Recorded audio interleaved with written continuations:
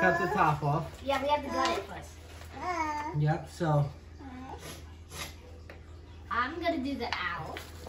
So first we gotta cut it. Here, so. Step one. Uh. Mom?